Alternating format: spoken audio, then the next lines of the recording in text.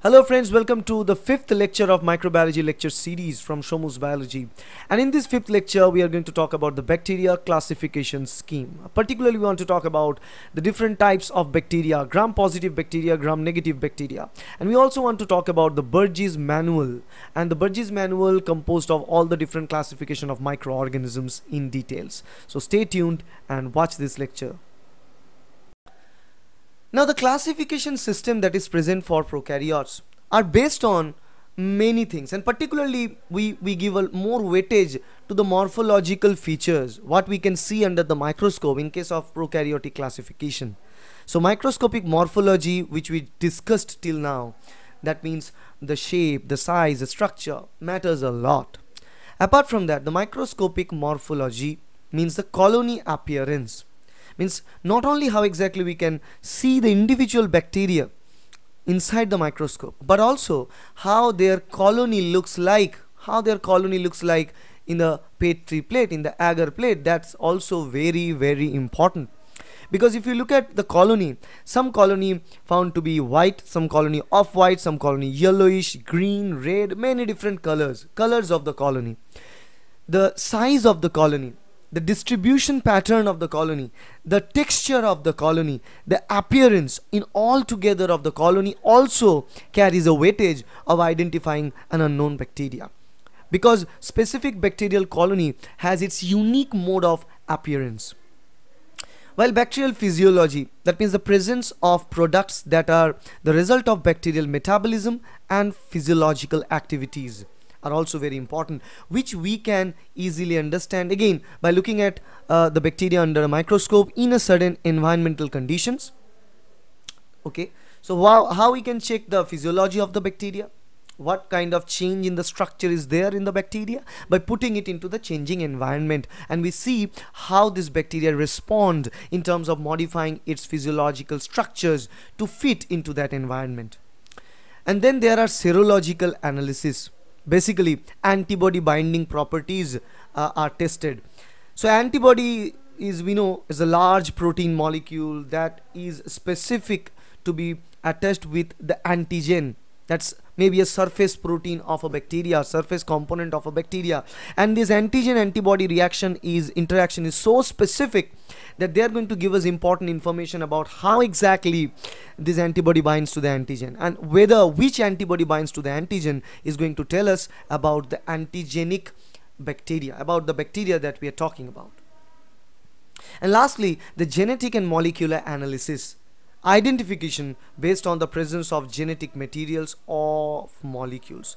You know uh, this is the last thing you know and also biochemical properties are tested which is also uh, not written here but biochemical properties plays a very very important role in even identifying an, a bacteria with the help of the tests that we commonly use. Uh, you know staining process we commonly use then uh, all the biochemical tests like IMVIC, te IMVIC tests okay if you're from microbiology background you already know about the test and you probably have done that in your practicals. So but finally we have this genetic and molecular analysis. Means finding a particular marker a molecular marker and uh, from there get to know about uh, the the the strain of the bacteria.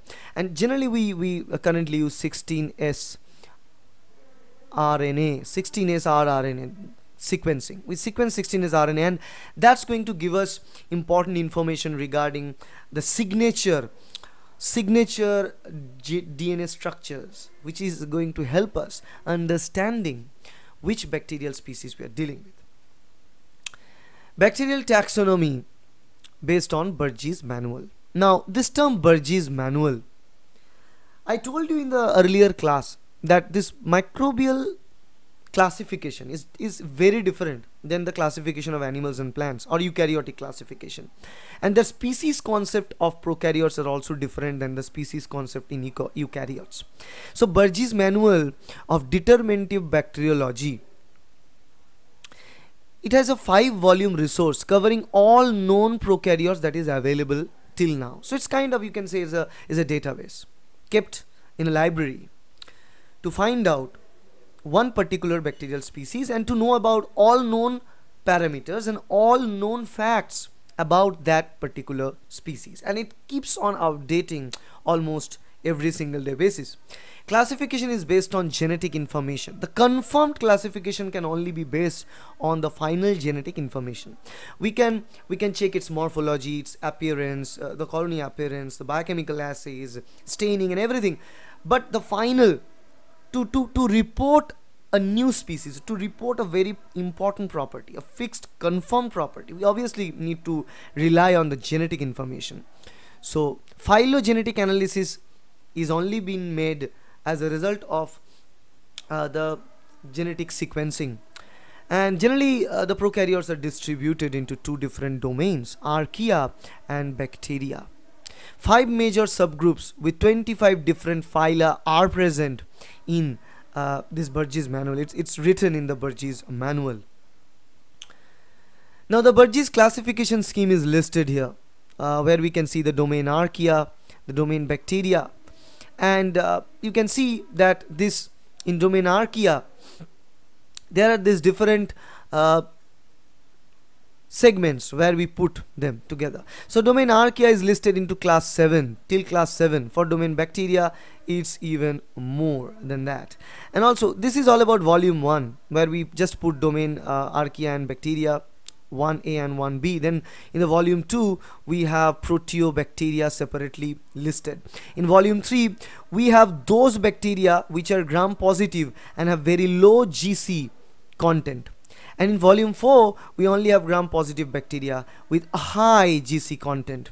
And in the volume 5 we have all the other uh, misfits which cannot be placed in volume 1 to 4 we put them in volume 5 where we put the spirochetes okay fibrobacters and bacteroids okay as well as uh, fusobacteria planctomycetes all those different species we put, put them in the volume 5 and you know uh, we generally put this different bacterial listing in different volumes based on one property and which I just listed. Okay?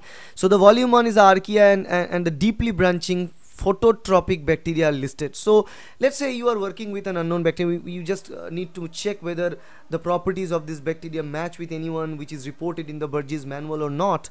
Uh, so you know that your bacteria is gram positive. You know your bacteria has a low gc content. So you directly take volume 3 which carries only information about those bacteria which have this low GC content with gram positive feature. So that's why we put in volume so that we can pick only the volume carrying that particular property of bacterium, not everything okay because if we put all the bacterium in the same volume of the book it will be very difficult for us to even go through them and separate them and find out a correct one so that's why we we place them like this. Now this Bergey's manual is maintained both you know second edition is running right now and it's there. This is uh, this table is given based on the second edition. Right now new editions are there and it's also being kept online so that you can just check uh, if new bacteria is there based on their like their appearance their colony structure their shape sizes chemical properties metabolic properties and uh, pathogenic properties and many more. Now the final things that I need to talk about the bacteria because we, we've been talking about their structure, the internal cellular structure, extracellular structures and how they appear. Now there are diagnostic schemes that are present for the medical use. The use of phenotypic qualities in case of identification. They are restricted to bacterial disease events and divides bacteria based on all wall structures, shape, arrangement and physiological traits. So generally, uh, very commonly when we try to identify a bacteria, we, we, we, in the very first scale, we just measure it based on its appearance, its morph morphology, its shape, structure and arrangement because we don't get access to the serological test from the day one so but the bacterial infection spreads very fast. So doctor needs to take a decision based on the microscopic evidences and they just start the treatment. And then sooner if we need a confirmed result to provide a specific antibody against it and, and a medication specifically designed against it so we need to check it serologically then. Now what about the species and subspecies distribution in bacteria as I said, the bacterial species is nowhere near uh, the species concept of eukaryotes. Species in bacteria is a collection of bacterial cells which share an overall similar pattern of traits in contrast to other bacteria whose pattern differs significantly. That's all about the species for bacteria. And the strain or variety. A culture derived from a single parent that differs in structure or metabolism from one culture other cultures of that species only. So think about strain is one variety of a species. So species is species is the biggest here. It, it, it is the big one. And then we break species we get strain or variety. So a culture which is derived from a single parent but they are different in terms of their metabolism and structure a little bit but they are from that same species that are present earlier. So strain is a breakdown portion of a species or variety. Uh, okay. And then if you break variety we get type. Type is a subspecies that can show differences in antigenic makeup and susceptibility to bacterial viruses. So a type as I said even a further smaller version of, of variety or, or a strain a subspecies that can show differences in antigenic makeup means serotype okay? So the different in the antigenic makeup although they are of the same variety they are morphologically same. Their cultures morphologically are same metabolism is same but the type of antigen that is found on the surface of those uh, of those two bacterial uh, type are a little different. And the susceptibility to their the phage virus that they attack them are also different. We call them phage type or phage typing. Means you know there are certain bacteria attacked by certain bacteriophage viruses. Now let's say virus bacteriophage virus x infects uh, bacteria e. coli for example. Now this bacteriophage x is not going to affect salmonella. So if you take these two uh, type we know that even even let's say even e. coli two different type and these types are written with numbers strain numbers and the strain number and even inside there there are type. So we can say that even the same strain of E. coli may have different susceptibility to different phage viruses. So the type is based on uh, their genetic uh, I mean their antigenic makeup as well as the susceptibility to bacteriophage viruses and in pathogenicity type. That means two different type of a same strain of E. coli may end up in different pathogenic impact in our body. That's why if you check E. coli, some of them are very good, some of them can cause us meningitis, some of them can cause us, uh, you know, diarrhea, some of them causes causes uh, other tissue damages and many other diseases altogether. So this same species E. coli, even same strain but different type have different pathogenicity in our body. So that's why the hierarchy goes like species, strain, and type. Okay? Species is the biggest, then strain or variety, and then the least one is the type. The unique most one are the type. And there is no further division after type because no two types are similar. So that's all about the Bergey's manual in uh, the easy way, the simpler way. If you like this video, please hit the like button subscribe to this channel so that you continue to receive all the notification regarding the microbiology video lectures. And definitely share this video with all uh, your friends in the social media platforms. Thank you